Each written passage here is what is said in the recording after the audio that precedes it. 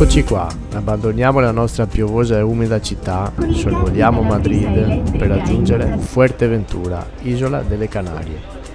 Ci affrettiamo a noleggiare un'automobile come sempre per raggiungere il sud dell'isola.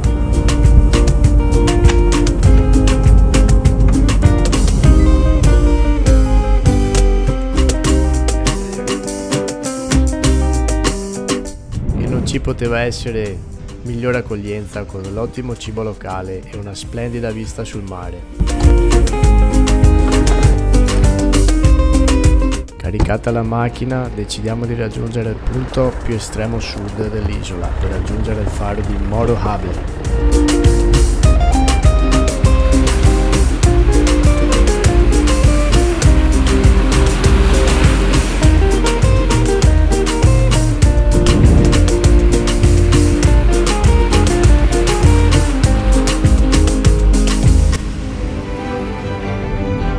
Proseguiamo e per strada facciamo un simpatico incontro delle caprette autoctone per poi proseguire verso la bellissima spiaggia di Cofete.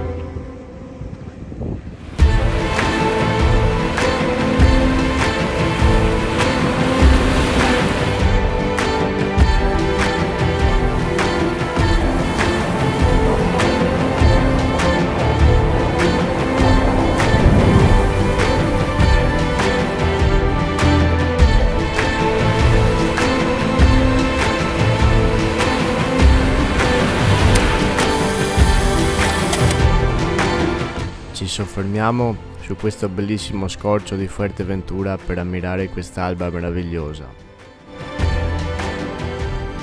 Raggiungiamo un piccolo paesino di pescatori, mangiamo qualcosa di tipico accompagnati da un sottofondo musicale meraviglioso per apprestarci a visitare il monumento naturale e le sue cave.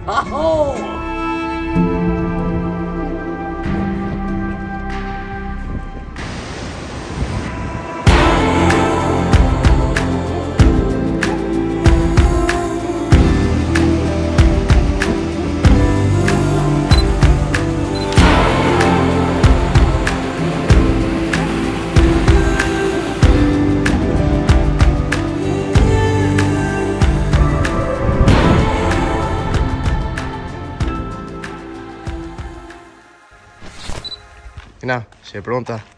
Tantissima. Grande. Erano le 5 del mattino, zaino in spalla e con molto sacrificio puntiamo a raggiungere la vetta del vulcano Calderón Hondo all'alba. L'alba è il momento più bello che la natura possa regalarci.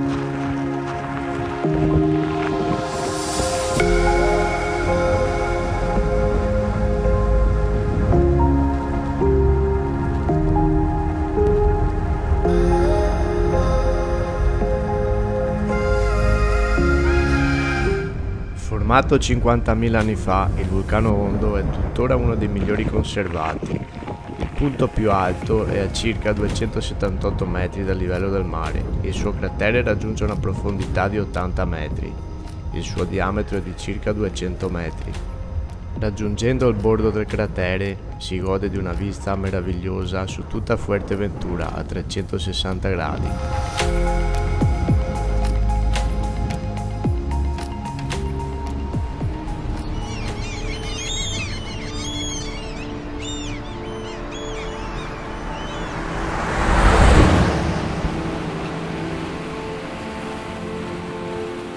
Eh già, a 100 km da Fuerteventura si trova il deserto del Sahara.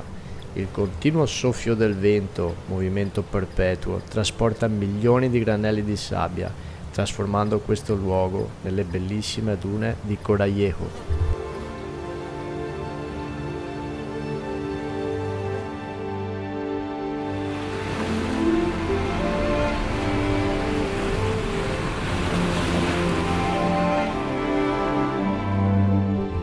Abbandoniamo le dune del Sahara per raggiungere l'Africa delle Canarie, il barranco de las Penidas.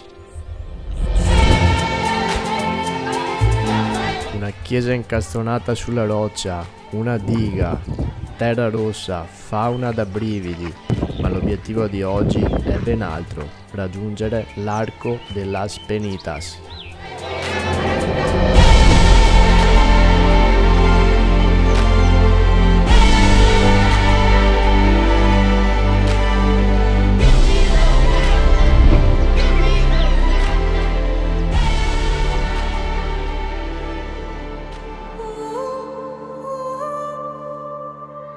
Poi ti ritrovi Juanel, il pescatore, che ha scelto la libertà e nonostante le difficoltà non ha mai smesso di crederci e non ha mai mollato un giorno.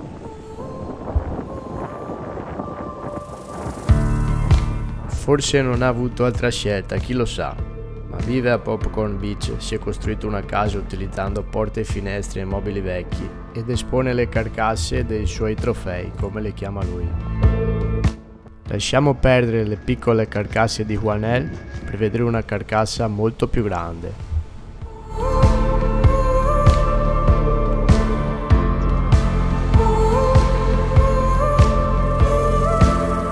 Da secoli sull'isola si produce sale, ma l'attrazione maggiore adesso è questa carcassa di balena di 19 metri e mezzo che è stata trovata nel 2000 impigliata tra le reti e poi morta.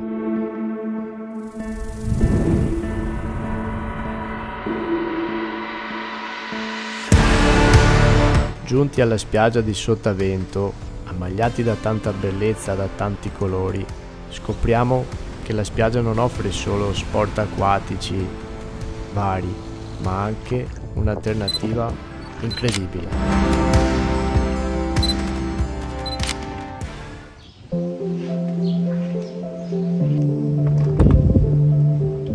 E così, in silenzio, abbandoniamo l'isola, ricordi ben impressi sulla mente. Dopo aver percorso mille chilometri con l'auto esplorando l'esplorabile, sempre affascinati dai colori che cambiano in continuazione a pochi chilometri di distanza, del mangiato dell'ottimo cibo locale come il formaggio di capra, le polpettine di pesce, lo stufato di capra e molti altri piatti. Vi ringrazio per la visione e vi auguro buon divertimento finale.